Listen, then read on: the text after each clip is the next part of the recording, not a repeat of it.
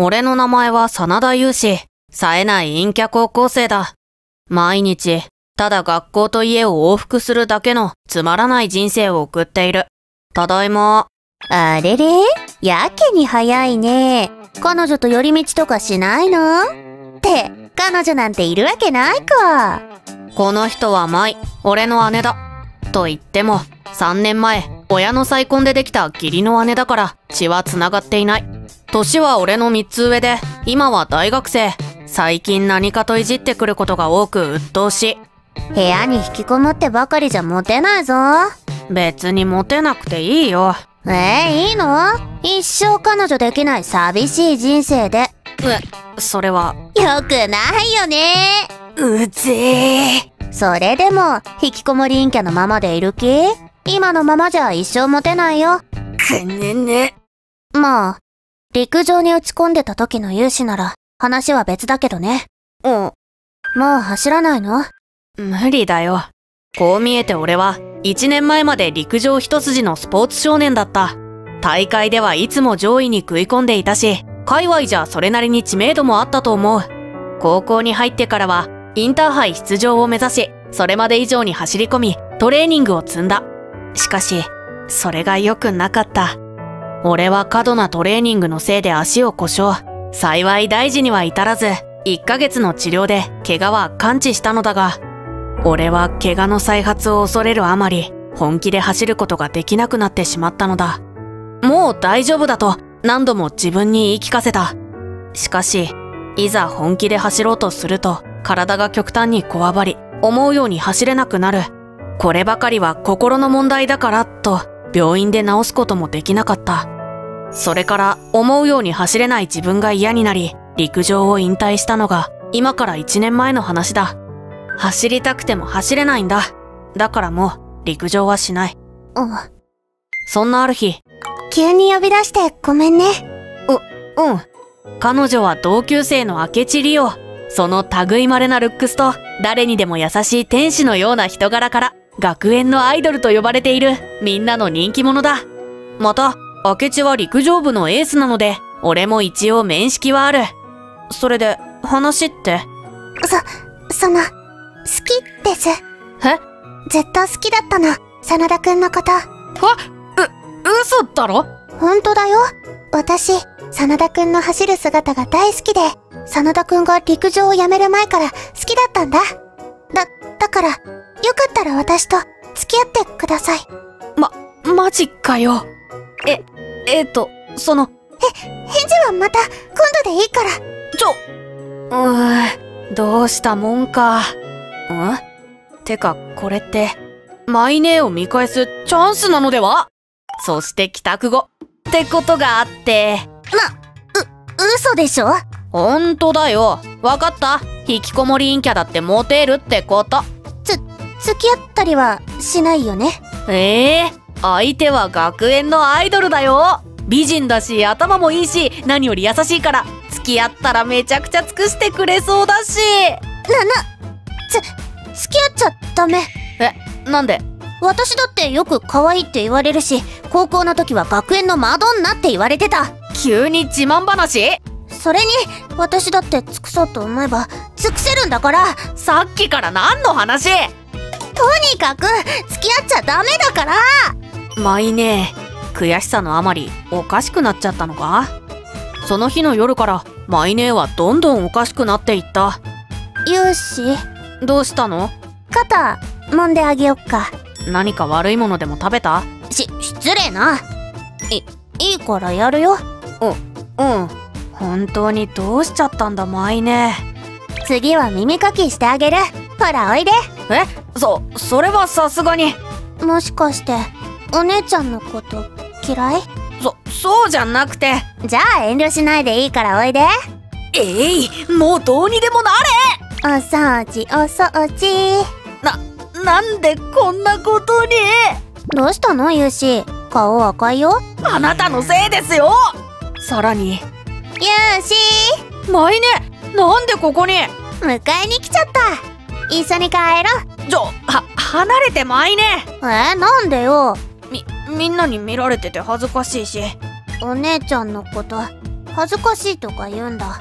ひど。ああそうじゃなくて。じゃあひっついたままでいい？もう好きにしてくださいはーい。おあれって。その後もマイネーの不可解な行動はエスカレートしていった。そしてとうとうある日今日は添い寝してあげる。は？む無理無理。それはさすがにアウト。遠慮しないでいいから。遠慮とかそういうんじゃなくて。私は勇士となら全然嫌じゃないよ。え？かからかうのもいい加減にしてくれ。うんそうだよね。弟にベタベタするお姉ちゃんなんてキモいよね。ごめん。だから嫌いにならないで嫌いになんかならない。ただなんでこんなことするのかなって。それは好きだから。え？勇士のことが好きだから同級生に取られたくなくて。違うなままだからかう気本当に好きなの。あの日からずっとあの日？覚えてる？お母さんたちが再婚する少し前勇士の出る大会をみんなで見に行ったのああうん。その時に見た勇士の走る姿にグッと来ちゃって。多分一目惚れってやつ。でもそれだけじゃないの。陸上に一途で努力家なところとか。不愛想だけど実は優しいところとか。勇士のことを知れば知るほどどんどん好きになっちゃったんだ。そうだったんだ。でもその割に結構ひどいこと言われてたような。それは勇士に構って欲しかったからつい。ごめん。それと勇士を陸上に復帰させるためでもあったの。え？可愛いかよ。陸上やめてからの勇士はとてもじゃないけど見てられなかった。家に引きこもることが増えて笑顔も減って今のままじゃ勇士はもっとダメになる。だから昔みたいに元気な勇士に戻ってほしくて。驚いたそこまで心配してくれてたなんて。でもなんでそれがからかいにつながるの？それは引きこもり陰キャはモテないって言えばモテるためにまた陸上始めようって思うんじゃないかなって。俺ってそんな単純なやつだと思われてたか。でもありがとう。なんだか背中を押された気がした。正直陸上には未練があったしまた走ってみようかな。本当？うん。それでその告白の返事だけど気持ちは嬉しいけどごめん。マイネーのことは俺も好きだけどそれは家族としてというか。そっか。ごめん。この私を振るなんていい度胸してんなお残念だな。でもこれですっきりした。勇士もまた走るみたいだしいいこと尽くしだね。これからも頑張るんだぞおよかった。気まずくなったらどうしようかと思ったけどいつものマイネーだ。それから俺は陸上部に復帰。しかし怪我への恐怖心はまだ残っていて全力で走ることはできなかった。でもここで逃げたらまたあのつまらない日々に逆戻り。それだけはごめんだ。真田くんお疲れ。明智お疲れ。どう？久しぶりの練習は？全然ダメ。でもやっぱ走るのって楽しいな。真田くんって本当に走るのが好きなんだね。明智この後時間ある。告白の返事だけど。ごめん。明智とは付き合えない。知ってる。え？好きな人がいるんだよね。好きな人？いやいないけど。いいよ。嘘つかなくて。この前見ちゃったんだ。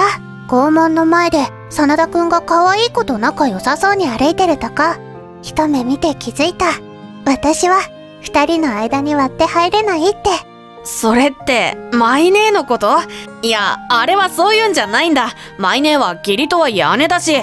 真田くんって自分の気持ちにも鈍感なの？え？じゃあ聞くけどお姉さんが他の男性と付き合っても平気？やだ。即答じあれ？なんで俺？ゃんだからそういうことなんだよ。そんなまさか。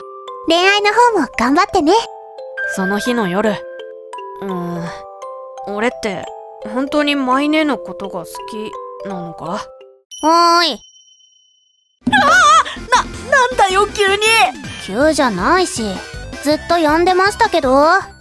そ、それで、何かよ。実は、来月から海外留学することになりました。そ、それはまた、急だね。まあね、ずっと迷ってたんだ。でもほら、有志にも振られちゃったから、思い残すこともないし、思う存分勉強することにしたんだ。そ、そっか。ちなみに期間は？2年だよ。マジか。しばらく、マイネーと会えなくなるのか。出会ってから今まで、いろいろあったな。マイネーのおせっかいのせいで、納豆食べられるようになったし、マイネーのプリン勝手に食って、大喧嘩したこともあったっけ？俺が一番、辛かった時も。有志、大丈夫？何が？陸上、やめるって聞いたけど。別に平気だよ。たかが部活を辞めるだけ。一人になりたいから、出てってくれる。ずっと一人で、頑張ってたんだね。うわ、いいんだよ。もう抱え込まなくて。マイネ。お、俺、自分が情けなくて、だから、う だから、うんうん。辛かったね。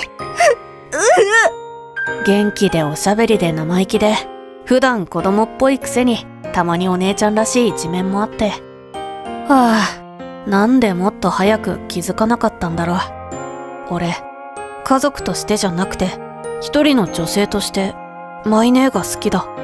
よし、出発前に、思いを伝えよう。と、意気込んでいたのだが、告白の言葉に悩みすぎて、あっという間に1ヶ月が経過。マイネーの出発日は明日だから、今日言うしか。ん？これは、大好きなみんなへ。明日出発するって言ったけど、実は今日出発します。嘘ついてごめんなさい。でも、締めっぽいのは嫌だから、許してね。どうしたユウシ父さん、車出せる？俺たちは急ぎ、空港へ向かった。しかし、あと少しというところで渋滞に捕まってしまい、まずい、これじゃ間に合わないぞ。なんでこんな時に？ユウシ、お前車降りろ。え？走れ。あ、お前の足ならきっと間に合う。あ、わかった。頼む、間に合ってくれ。俺は全力で走った。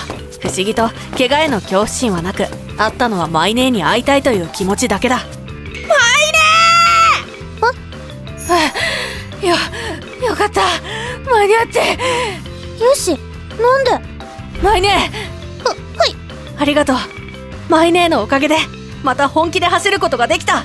恐怖に打ち勝つのは愛なんだな、何の話？俺、マイネーのことが好きだ。だから、マイネーさえ良ければ、俺と付き合ってほしい。本当に、私でいいの？よマイネーじゃなきゃダメだし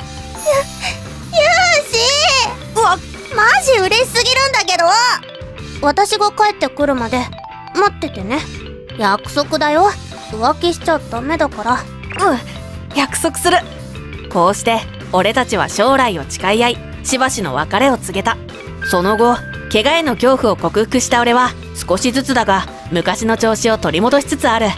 これなら、完全復帰する日も、そう遠くないかもしれない。けど、これからは結果に固執せず、楽しく、自分のペースで走ると決めている。それから2年後、俺は大学に入った今も、楽しく陸上を続けている。この後飯でもどう？ごめん。今日はパスで大事な約束があるんだ。そう。今日は大好きなマイネーが帰ってくる日。よし会いたかったよ。俺もだよ。おかえり。舞ね。そしてじゃあ改めて俺と付き合ってください。いいよ。その代わり絶対幸せにしてね。止まっていた俺たちの関係が動き出す日だ。俺たち幸せになります。見るです。もし時間があ